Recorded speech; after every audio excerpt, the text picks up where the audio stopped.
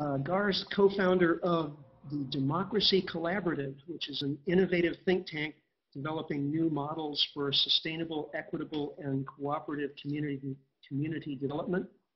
His articles have appeared in the New York Times, Washington Post, Los Angeles Times, etc. He's been profiled by the New York Times, Associated Press, People magazine, and so on. He's been a guest on uh, news programs like Meet the Press, Larry King Live, Charlie Rose Show, and The O'Reilly Factor, which should be an interesting story there.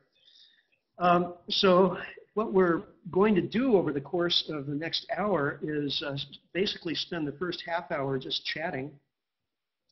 And then for the second uh, 30 minutes, uh, we'll field questions together, which you uh, are welcome to submit. Uh, as you're looking at this screen, you'll see a uh, box on the right-hand side, and you can type questions into that box at any time during this show. And uh, during the second half, we will be looking at those questions and talking about them.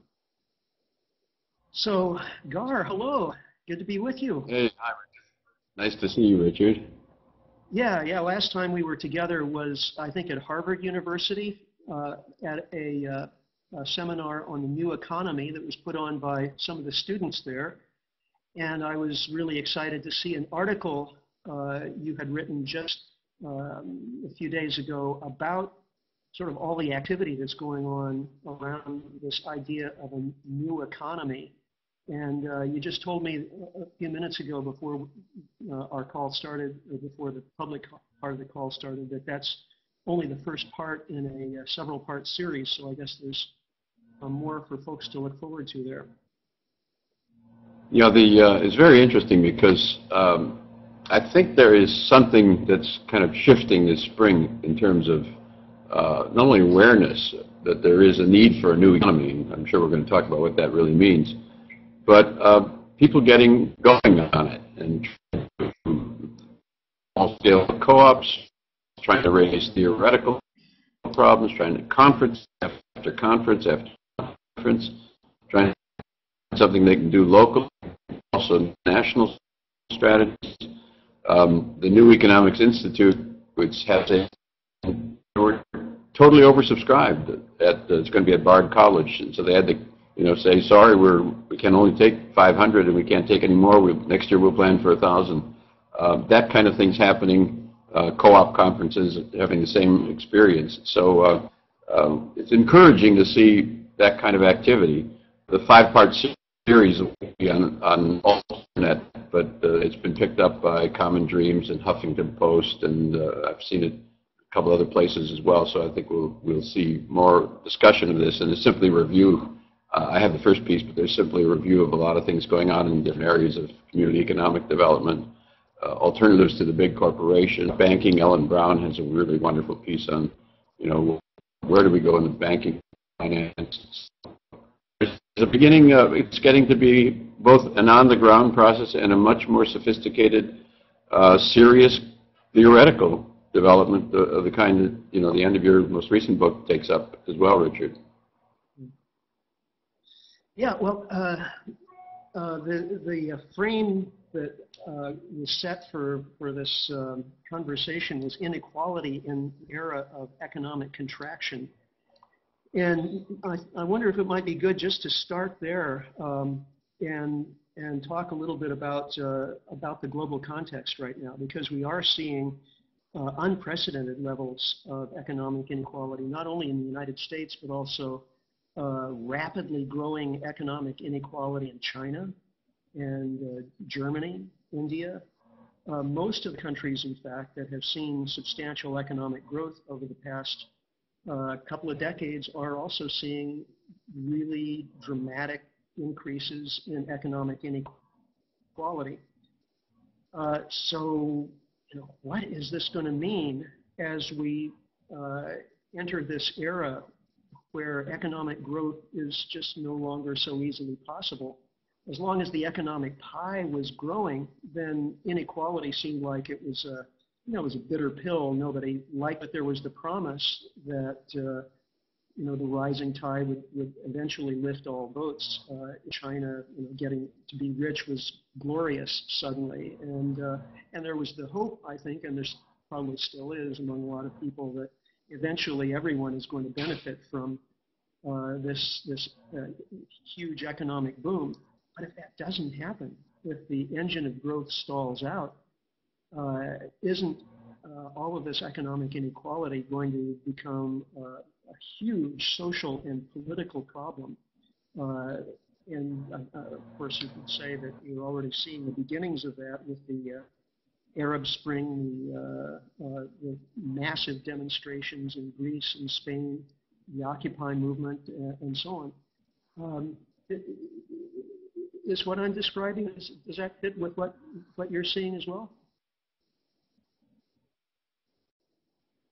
Um, broadly speaking, I, I, agree, and it's, uh, I mean, it's, you know, it's a the trend. There's a double barrel.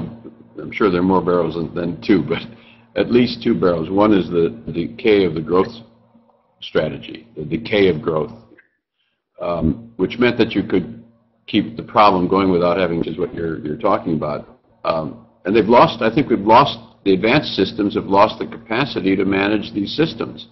Uh, I sometimes think that this was an aberrant moment in the middle of the 20th century when World War II and the post-war boom uh, temporarily consolidated a political capacity, political alliances, social democracy in Europe, liberalism here, to manage growth enough to keep the, the lid on.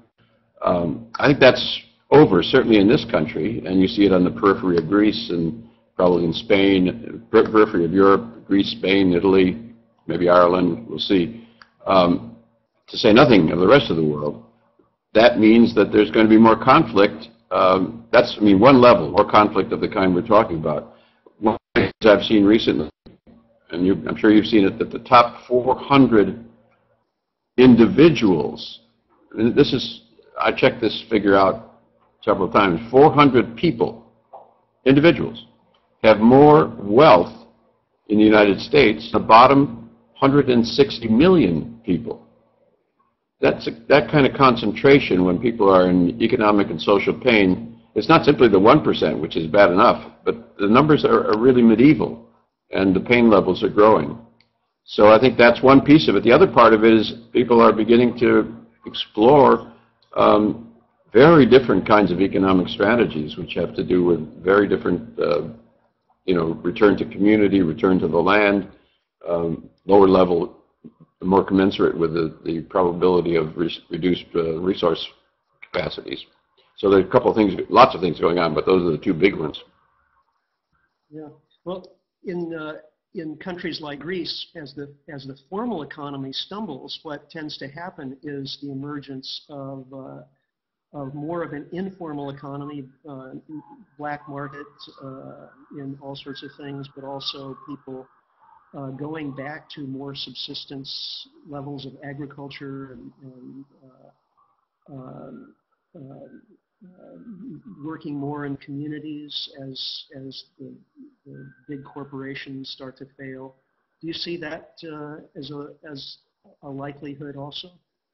Well, I think I think that is happening, and the questions become how much and where, and whether or not there's a way to consolidate a new um, systemic model that can operate at that level. I just spent some time with uh, Grace Boggs, and who's done you know very interesting work along these lines in Detroit, the, the urban farming and, and, urban agriculture and urban uh, training of people as well, and also bringing the generations together, older and young, re reconstituting the local culture. So uh, I think that to a substantial degree, that piece of the puzzle is going to have to expand. Uh, I don't think that means the end of all technologies. I mean, I think there's a, you know, these are essentially very wealthy systems that still can be, um, without the growth factor, can be moderated. Uh, you know, the United States today uh, produces about $190,000 of real income, whatever real income, that's the GDP number, whatever that really means. But nonetheless, it's a crude measure $190,000 for every family currently. Now you can cut that down and make it 100,000 or 50,000 and you, you know, 50,000 is the median income. And you can go radically down and you still have a, a high level of income and high level of resource uh, capacities in this system. Now, That's probably not transferable to globally, but uh, somewhere between the, you know, really down, down to the earth, return to the earth, and a technology strategy, I think is going to have to be developed uh, over time. A lot of it depends on what we do on, on energy, obviously. Yeah. Yeah. It, it, it's interesting that so much of the focused on uh, on Europe right now, um, particularly particularly Greece. Uh, we are living at at the end of uh, what some economists are calling the biggest credit bubble in in human history. Uh, since 1980, I think uh, debt has grown faster than GDP in, in virtually every single year. Um, so uh, it, it, it's interesting that this is showing up uh, now in Europe, which has this, uh, you have 17 countries, each with its own uh, national debt, but a common currency so that uh, if if debt becomes a problem, uh, none of those 17 countries can uh, negotiate their way out of it by devaluing their currency.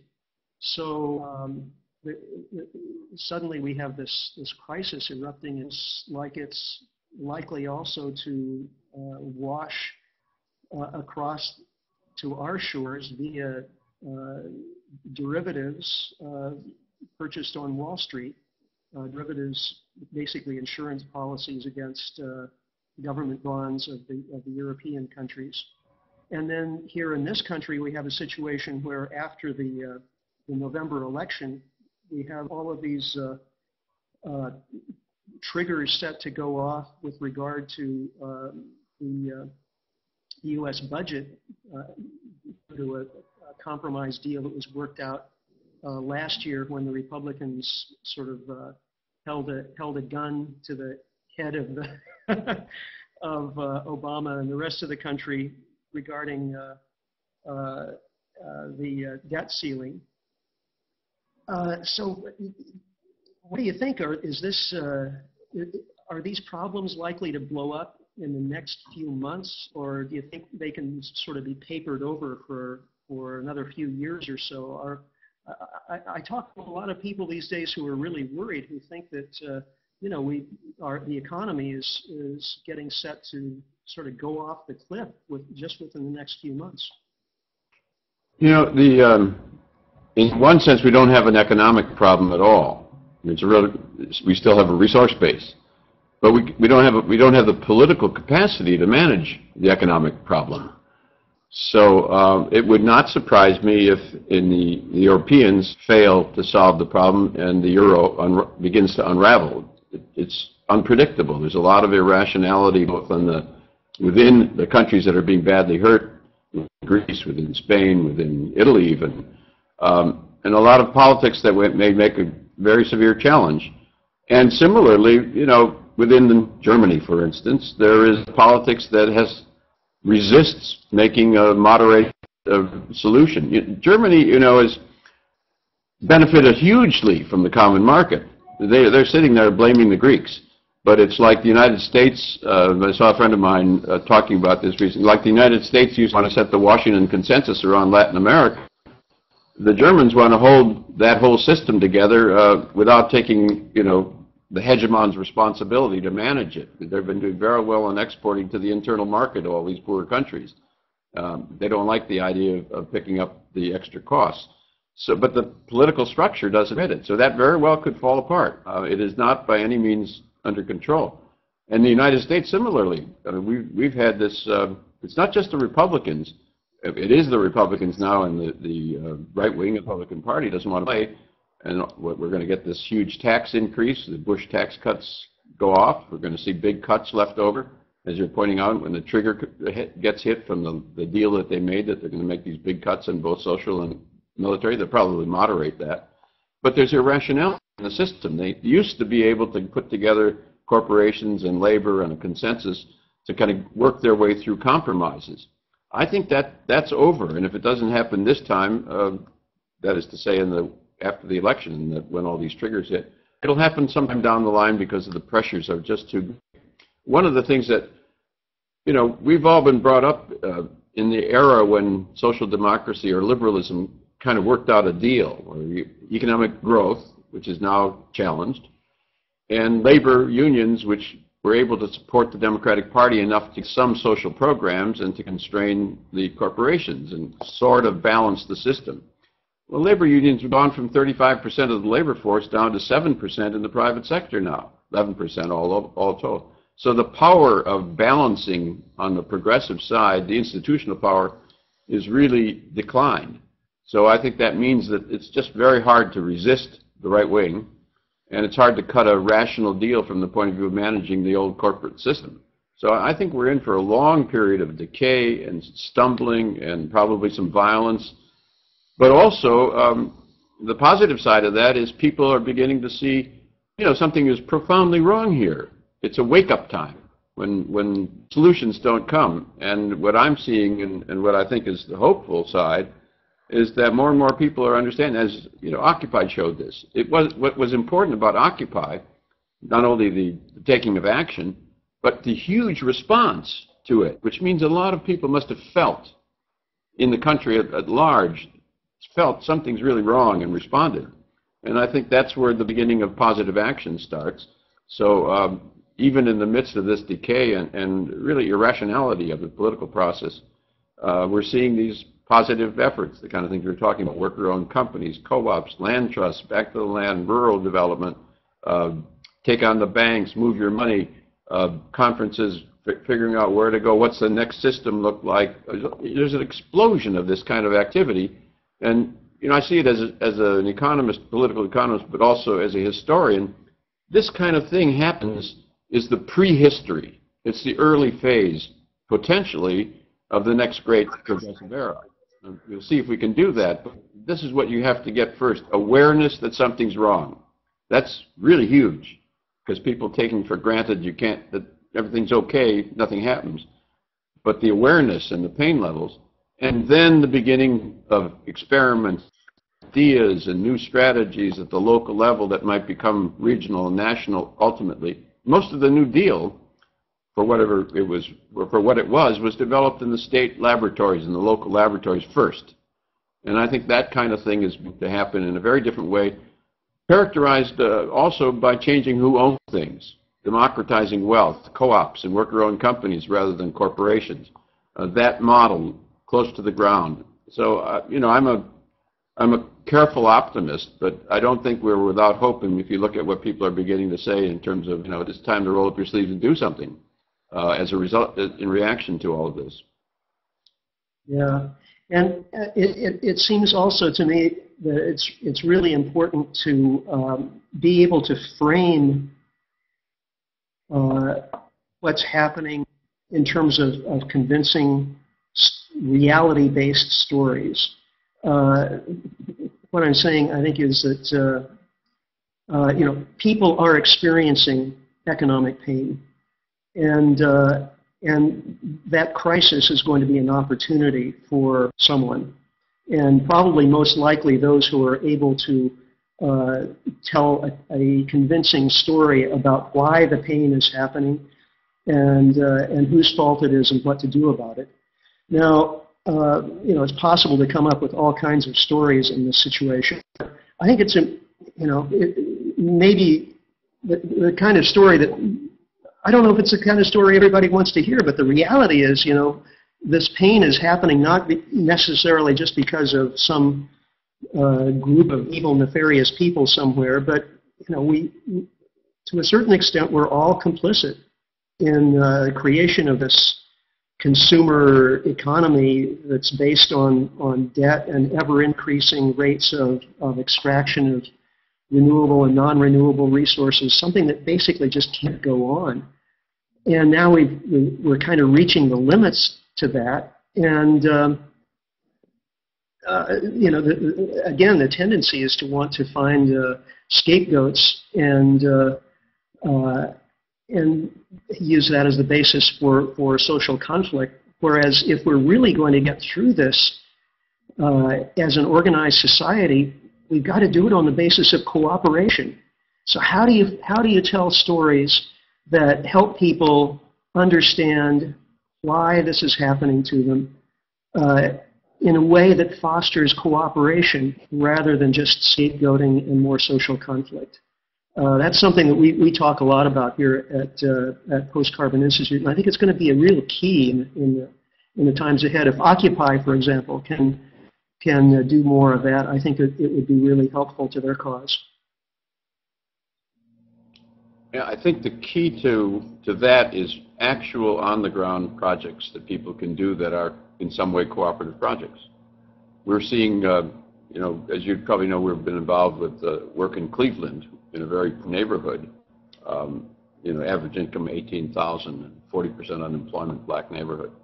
But the reconstruction there of an integrated group of co-ops, not little ones, uh, big ones that are significant scale, uh, linked together to build the community, but owned by the workers, um, and also using these uh, existing institutions like hospitals and universities buy a lot, uh, using that purchasing power to help stabilize a community building structures. And we're seeing uh, people get it. They understand that this is a different way to, uh, to go forward in a community.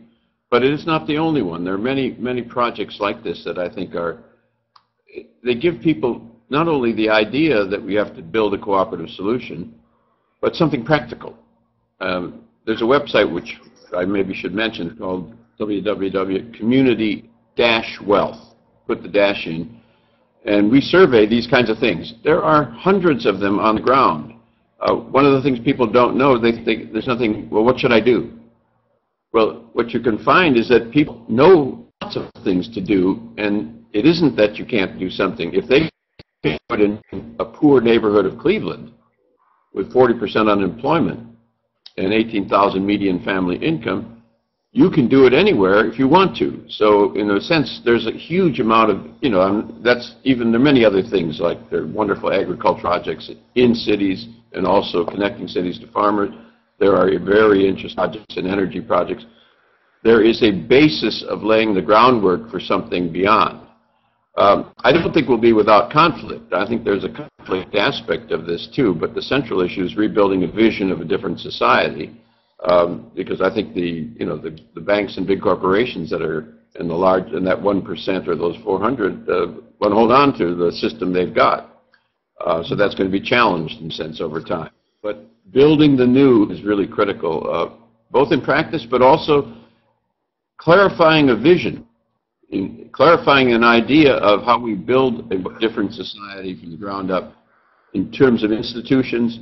How do you stabilize local communities uh, rather than, you know, cities like Cleveland were 900,000. They're now 300 and, or just under 400,000. That you can't have a democracy when the people are thrown away. I mean, basic, and the carbon content is thrown away, and then you have to rebuild and the on carbon costs. So how do you stabilize communities? And, you know, we've written that the book you mentioned, America Beyond Capitalism, takes up some of that, but other people are working on how you actually begin to think about, if you don't like corporate capitalism, you don't like socialism, what do you want? And how does it look, where operate? And why would it be better? And how do you deal with the growth problem? And how do you stabilize communities? So these are both practical problems. They're cultural problems, but they're also intellectual problems. You know, they take ideas and there's a lot of people thinking about this, and, and necessarily, so it's a very creative period, even in the midst of the pain. Um, so I often encourage people, you know, often Chairman Mao said that, that power grows out of the barrel of a gun, and the uh, American women's movement said back in the 60s, no, no, no, no, it's, it comes out of a half a dozen women getting together reading and getting some coffee or pizza and talking and figuring out theory as well as action, and then figuring out what to do, and then supporting each other. And I think that's the kind of thing we need to do is people learning what's being done in other cities, what's being done in other places, and also the theory of where we're going, and then get out there and do it.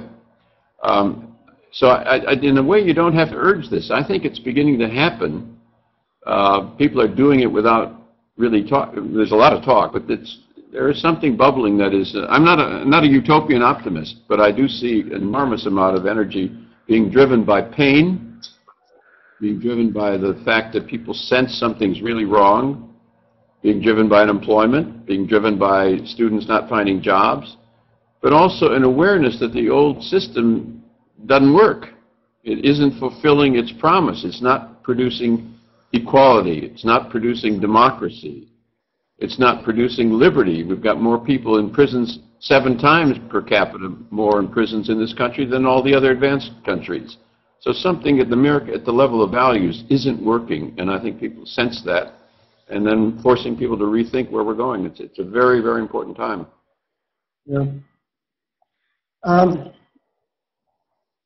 forgive me for uh, bringing back the sort of dark perspective, but if we are sort of uh, on the brink of perhaps another really drastic uh, economic downturn like 2008, only, only perhaps much worse this time, um, again, perhaps months uh, away, um, is there anything communities could be doing now to sort of inoculate themselves or uh, uh, prepare, or, or, households for that matter, for uh, you know pretty pretty dark economic times? Uh, do you think all, you know getting an alternative currency started now, for example, could be an insurance policy if uh, if uh, national currency becomes um, more dysfunctional in, in, the years ahead? Or, you know, what, what kinds of strategies do you think might be most helpful in that, you know, taking that, that frame? Well, if it, you know, I'm, I'm pessimistic that people are going to, in advance, um, prepare for a major crisis uh, in more than marginal ways. Um, possibly some people will, and, and, to the extent people are, uh, you know, taking care of like food supplies. In many places, that means developing gardens and working in, in community gardens. Uh, in some places, you can set up, you can begin to do alternative currencies, which we can multiply the resource base and, and draw on what's available in the community in a different way, and, in self-sufficiency or more self-sufficiency. Um, and so, and there are models of that going on, you know, in many parts of the country, in, in uh, Ithaca, Ithaca dollars, and in the Berkshires, BerkShares. Those people have experimented enough. So there's plenty to learn. Um, I suspect the crisis will be less of a sharp break, though that's possible, than growing decay and growing stagnation marked up and down by ripples up and down, so that it'll be an ongoing deepening sense of decay and pain and loss of belief in the present. Um, one of the things about the system is that the government is so much bigger as a floor level. In, you know, in 1929, the government was 11% of the economy. It's now 30 to 35%, depending upon what the denominator of the fraction is of the recession. The, GDP, the economy GDP is lower. Um, so that the total collapse scenario of the 1930s, less likely, but rather a deepening crisis and stagnation and worsening up and down, um, but ongoing and deepening problems. Now, it is possible that you could have a major financial breakdown. That's certainly within range. Um, but I suspect it's going to be more, uh, what I sometimes think, stagnation, stalemate, and decay, marked by very severe moments of crisis, and then back to stagnation, decay, and, and uh, stalemate. But who knows? I, what I would what I would say is prepare as much as you can if you if you can get it together. Yeah. Well, I think we're we're in pretty broad agreement on these issues, uh, and uh, it's we're about halfway through the, the, call now. So I wonder if this might be a good time to uh, switch over to uh, questions and uh, I don't see them on my screen, but my guess is that uh, uh, we've, we've had a few questions typed in up to this point. Oh, okay, here's one. Is there really any remotely realistic possibility that individual concerned citizens could counter the misinformation machine of industry? Oh boy, that's a that's a interesting one. Um, yeah, well, there, there, certainly is a misinformation machine out there, and we see it at work in uh, all sorts of areas with regard to uh, uh, climate change and uh, uh, all, virtually all aspects of the economy. Um, I guess, you know, one thing I would say is that I see a lot more healthy cynicism among especially young people these days about those kinds of uh, misinformation messages. You know, uh, the, the downside of, of that sort of cynicism is that a lot of people just don't believe anything. But, uh, but there, uh, it seems to me that there's, there's uh, uh, a lot more sort of free space in the, uh, in the, in the intellectual realm that's waiting to connect with a, uh, a clear and helpful uh, message and set of information. What do you think, Gar? Uh, I think that's true. I think the um, there is real cynicism about the, the national media. I mean, including on the right. I mean, the right wing attacks the establishment media, and correctly from in the sense that they they're right to doubt it very often. But also, um, you know, a lot of young people just don't bother with it anymore. They're on the there are lots better sources of information on the internet. Uh, newspapers? Who reads newspapers? So there, there's a lot of information if you want it. In that sense, we're this is we're blessed. This is the powerful information sources that, with modern technology. Uh, that's new. That didn't exist, and it's uh, spectacularly important. Uh, the thing that I think most people don't really um, normally think about is historical development. That is to say, if you were in Miss, sometimes I put it this way, my heroes are the people in Mississippi in the 1930s and 40s who understood there was a historical process at work. And it may look dark, and it looked very dark then, much darker than for anybody who wanted social change than most people now have. You would be hung, and before you were hung, you were tortured if you, if you got out of line in Mississippi. But some people understood that there was a slow build-up, step by step, in the dark time, as the way you create the basis for the next big push. Now that's, historical movements work that way. So I'm aware that lots of people are cynical about, as the question is, is there any real, remote, realistic possibility that individuals concerned could counter the misinformation? Well, at the moment, today, in five minutes, no. But if you look at this as an evolving process and think about every historical movement, the women's movement, the environmental movement, the civil rights movement, exploding over time, then you begin to see that what we're really talking about is laying the foundations for the next big push. And that's a step-by-step process, um, indeed, and, and it, you know, if you read any history, if you're serious about it, you'll find that happens a lot.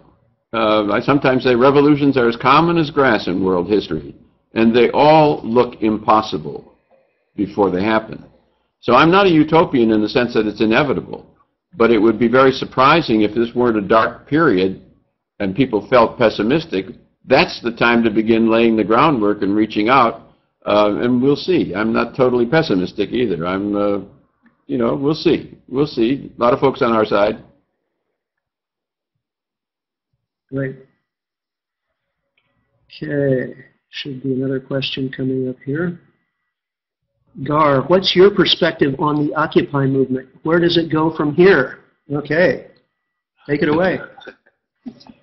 Well, you know, first, you know, I think it was a just a wonderful uh, rejuvenation of the country. So uh, I'm a great fan of what happened and, in the Occupy movement.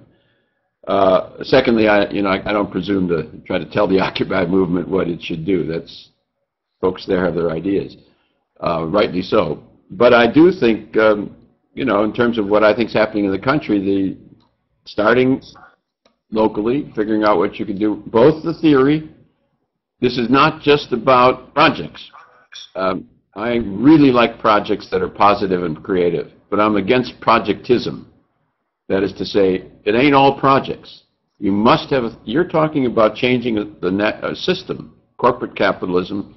If you don't like corporate capitalism, don't like state socialism, what is it you want? You don't want just projects.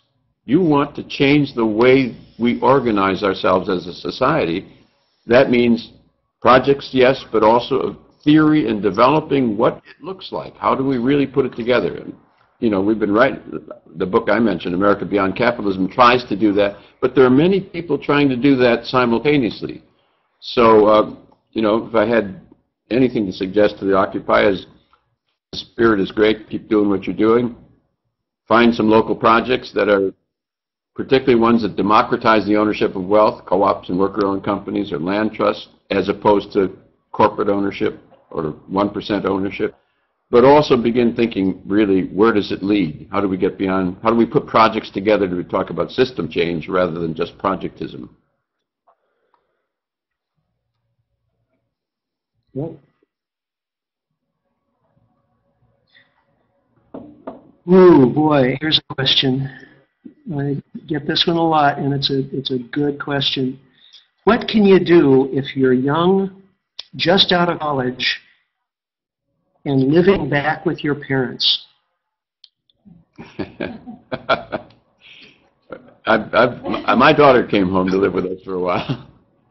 She said some time ago, and uh, it was great actually to have her there. So maybe your parents might like that part of it too. Uh, wash the dishes was one thing we you could do.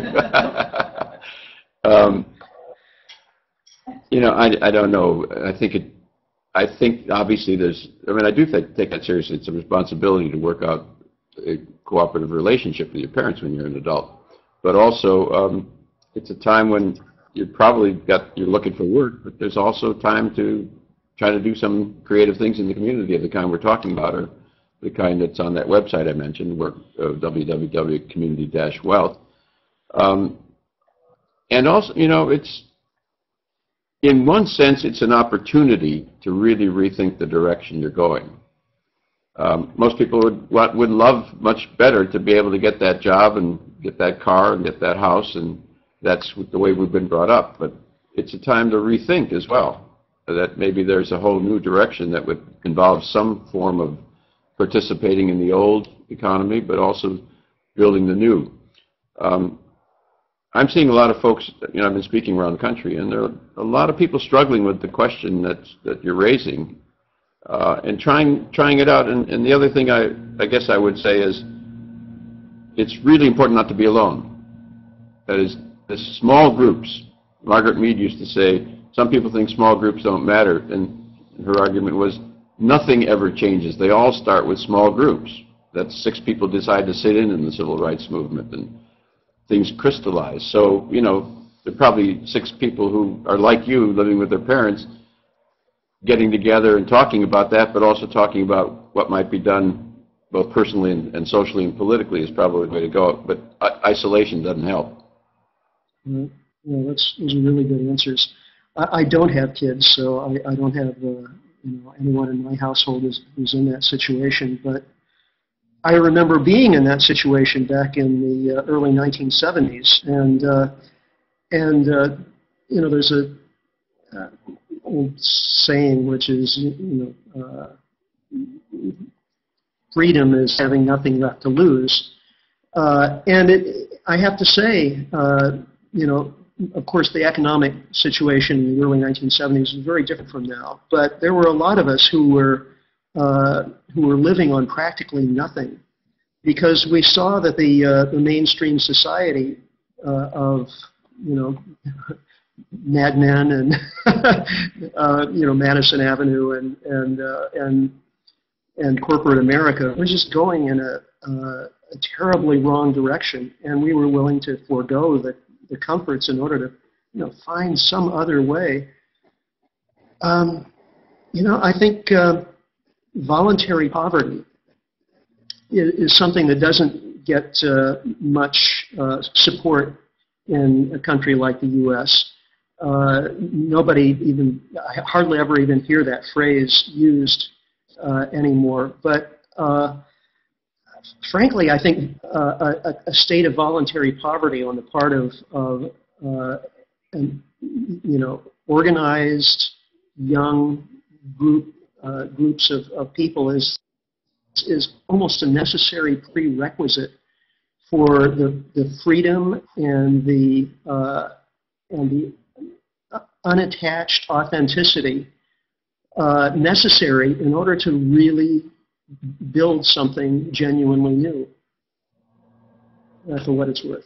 I don't know. And a, and a time to, you know, to rethink everything.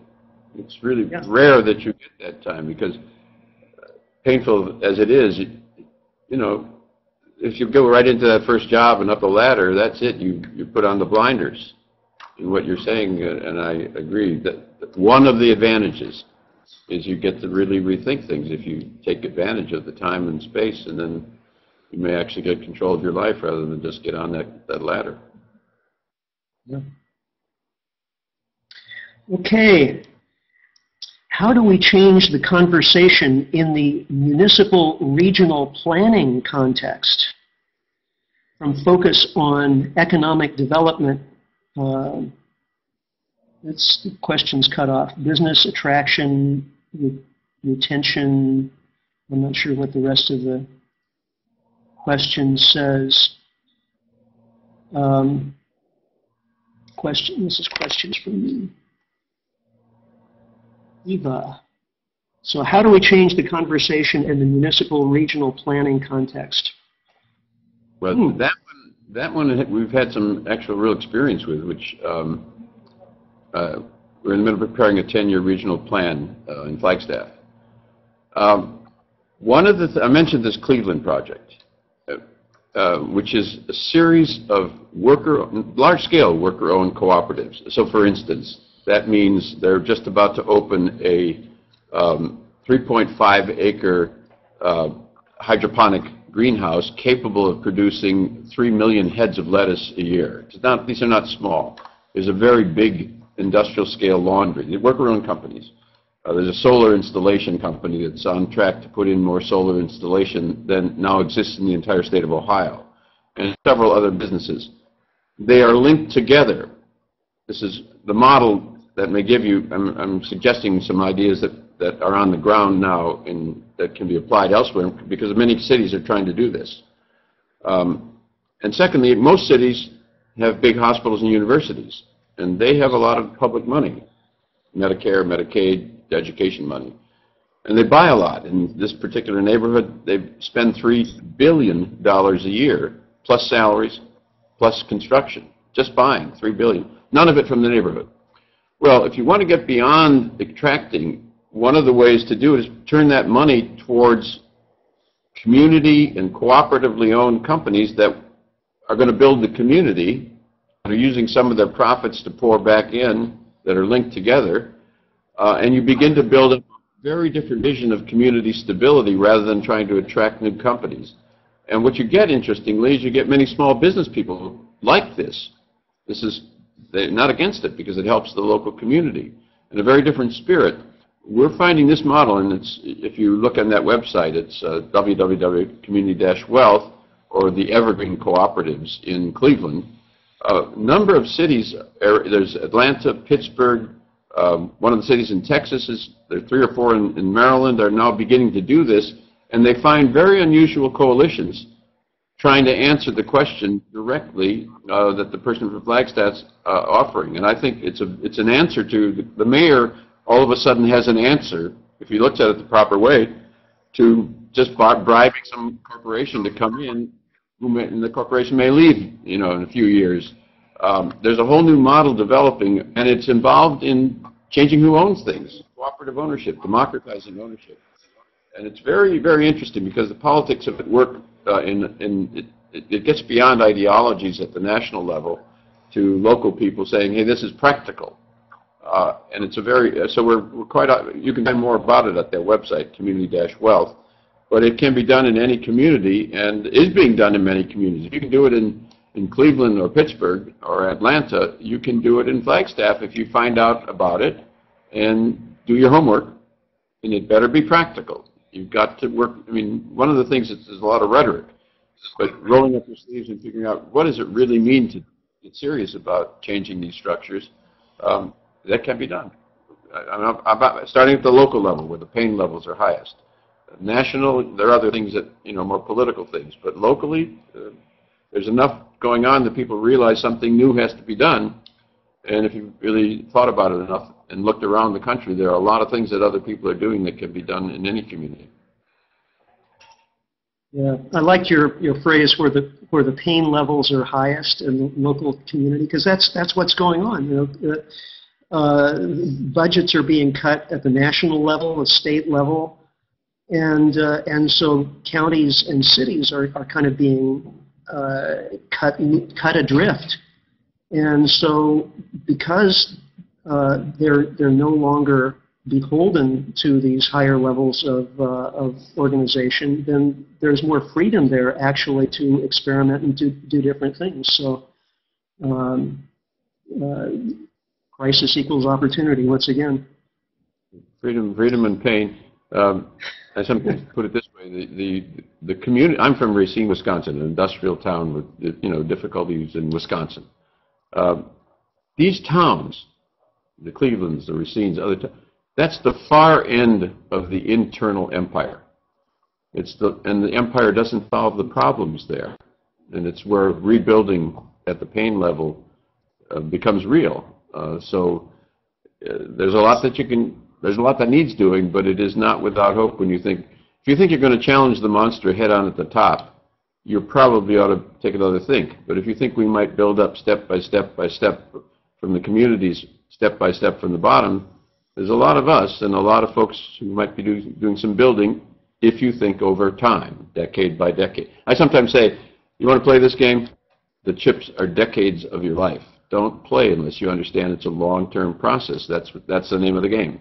So uh, come on, come on, play. Great. Um, okay. Question from uh, Gabrielle. Do you think community-based initiatives should be complemented with top-down measures such as caps on consumption. Uh, well, my two cents is caps on consumption, great idea, I'd support it, but it's a pretty tough sell for uh, the vast majority of people. I, I would say that the caps on consumption are, are, are going to be administered by the, by the economy as it contracts. But uh, that's not to say there aren't top-down uh, policies that couldn't help along the way. And uh, and certainly the the uh, you know the, the large-scale institutions, national governments, uh, state governments are going to have to respond in some way to these these changing uh, circumstances. So of course we should be lobbying for more sensible responses rather than rather than uh, you know nonsensical and destructive. And um, you know, whether it's with regard to the environment and climate or with regard to financial regulations or uh, all the rest. So. Yeah, I agree. I think the, uh, there are some opportunities at the national level, um, some, and I think two that are important. Uh, most, of, most of the opportunities aren't there, but I think so, there are in some areas. I think the banking system is going to go into crisis again, uh, and probably multiple times. And, uh, you know, probably people will try to re-regulate them, and that will fail because they've got too much power, or they may break them up, and then that will fail because the big fish will eat the little fish. So at some point, uh, I don't think there is a regulatory answer. In theory, there is. But I don't think that with the decline of the progressive power and the decline of labor, I don't think you can make it stick. And I don't think there's an antitrust break them up answer because I think they'll get around that too and just get back to what they've been doing. So I think they're going to re-agglomerate. And at some point, you know, the answer is you're going to have to take them over and make them into public utilities. Uh, I think that progression is real because I think they're going to screw up and make real problems and people are angry enough and after you try all the other reforms that they can get around, I think people are going to say enough is enough. But that's the next couple decades. I don't think that's immediate, but I think that's the way you ought to think about it. We're looking for something that works. Um, so that's a big national solution, but I think they're so irresponsible with the way they're playing, and they cause so much pain, and people understand it, that at some point some of the big guys will be made into utilities, that just public ownership. Um, Secondly, I think the health system ultimately is going to be a public system. And that's slow and agonizing, but the pain levels are going to really increase over time. And I think people are going to start seeing people thrown out of hospitals on the street the way they were and feeling it themselves, and the costs are going to go up. And some of the big corporations are going to be also angry because they're global competition. They're not going to like the cost structure. So there's a divide and conquer possibility there for a real medical solution. So yeah, there are some areas, and you know, healthcare is going to be 20% of the economy, and the big banks run another big chunk of the economy. So it is not impossible to see crisis development in which those situations could be brought under control in parallel to the, the local development. But I, I think the local place is to start, but there may well be opportunities nationally over time. Yeah. Uh, Unfortunately, those, those national opportunities are currently hindered by the incredibly dysfunctional political system. And, uh, and it's hard to see how that's going to get sorted out anytime soon. But uh, Not soon. No, no. Not soon. Decade by decade. okay, uh, what do we have next here?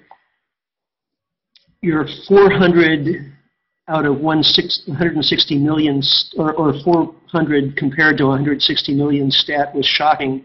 How do you see redistribution going by force or voluntarily to save society? Hmm, that's an interesting question. Step by step. Uh, I think, I think people first need to get a sense of the different, of an alternative society. So a co-op or a land trust or a municipal, you know, 25% of the American electricity is now municipal-owned, democratized ownership, or co-ops. It's, it's not private corporations. Um, people have to have an alternative idea of a more cooperative community. And, and there's a lot of very American forms of this, not state socialism or big bureaucracies, local things like co-ops and land trusts and municipal enterprise and that kind of buildup, I think, needs to be the way people think about what they want rather than just redistribution. Now, there's a whole role for uh, taxing as well, simply to redistrib- redistrib- redistribute and also use that money for social programs. I agree with that. But I think ultimately the, the only way forward is if you get a whole different vision that this is really crazy that 400 people have more wealth than 160 million. Do we want to build a society that alters the structure? If you don't like corporate capitalism, you don't like state socialism, how do we build a new society from the bottom up that really begins to change? And, you know, America has one great advantage. We're not like France, for instance, or Russia, where things really are much more centralized.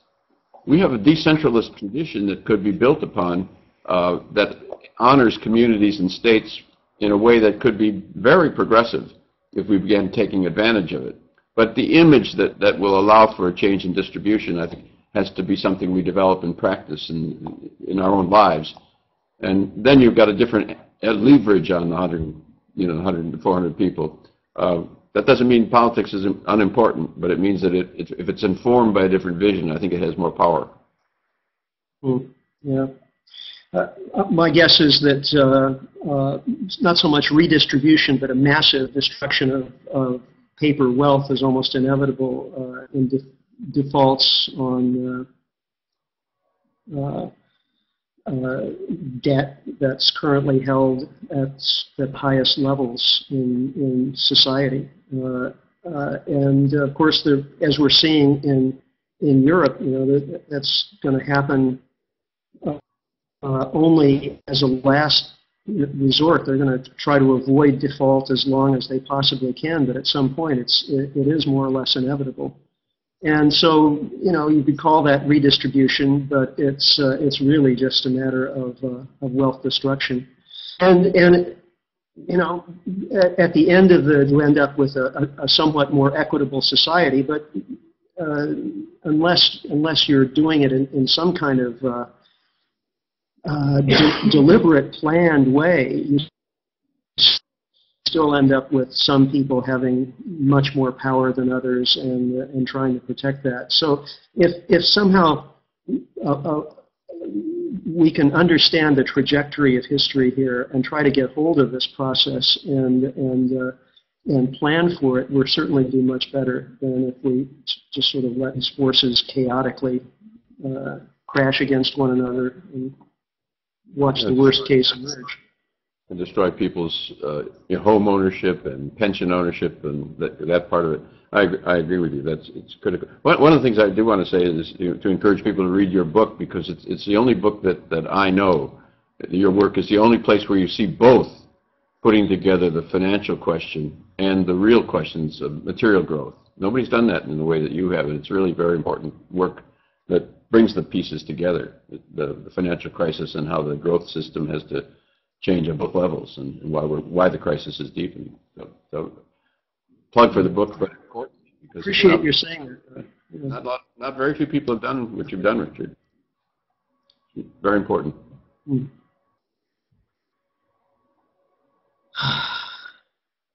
What's giving you hope or optimism right now? And that's, you know, let's take that as, as literally as we can. You know, what's maybe what's happened most recently, just in the last, uh, uh, that's most hope-giving. Well, I'm going to have to stew on that for a second. Is there anything you can say to that? Well, if it's right now, I've just come back from a conference um, called BALLE, B- Business Alliance for Local Living Local Economies. Uh, and that's been primarily small business people in communities that, you know, not, they don't like unions too much and they're not too interested in black people in the poorer parts of the country and the, they haven't taken on the big corp, the banks, they, they don't like them, but but very excited about an ecologically healthy local community development and small business integrity. So a lot of integrity. And it was a very interesting conference and very exciting because this group is reaching out and aware of and bringing in, not, you can't do it just by small business, even the best, and you can't do it just by communities. You've got to reach out to the poor black community, the brown community. You have to begin talking about systemic issues, not just local economies. So it, it's a process of opening out. Uh, and that process, not only, that's, that was to me very encouraging, but I've been seeing that elsewhere where people are beginning to say, hey, there is a larger set of issues here. We may start at one corner, but there are sys- systemic questions, and that the, the moral integrity of what we're doing is challenged if we don't reach beyond our own little sandbox.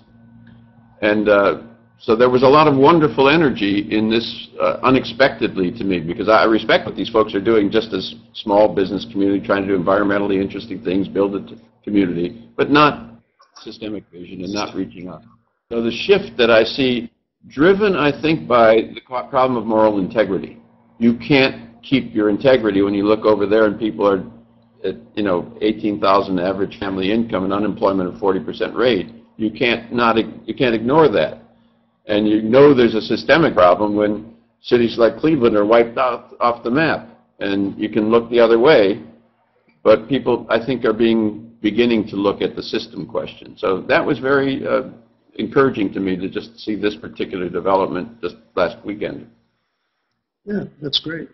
I guess the way I'd answer that question is it's more subjective. You know, I've, I, I've been home for the last uh, uh, couple of weeks off off the road, which my favorite place to be is is at home and being in the garden and and uh, uh, of course it's late spring right now and everything is just so bounteous uh, and uh, and our chickens are laying and and just watching even animal behavior you know chickens are not necessarily very smart but they have this dogged determinism determination if they if they want something they will just keep going for it until if they can possibly do it they'll get out from under that fence or do whatever it is that they need to do and you know, I think we human beings are, are, are like that too. You know, we, we can be advertised at, we can be threatened, uh, we can, you know, be sub, subjected to all kinds of systems to try to force us to be a certain way. But uh, given the historic necessity, I think we're going to um, do a lot of things that may seem impossible right now. Uh, over the course, as, as you say, Gar, over, over the course not just of days and weeks, but, uh, but, but months and years ahead. So this has been a great uh, uh, opportunity, I think, for me to have this conversation with you, Gar. I've really enjoyed it tremendously, and uh, to uh, I hope uh, folks who've been listening and watching have, have enjoyed it too. It's going to be available on our website, and uh, thank you so much for, for this Thank conversation and for your wonderful work. And yours as well. Thanks, Richard.